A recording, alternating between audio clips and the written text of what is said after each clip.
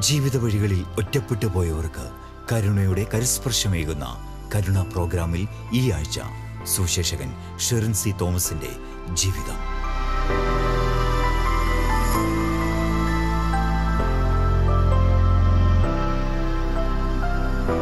മറക്കാതെ കാണുക കരുണ Christian live charity.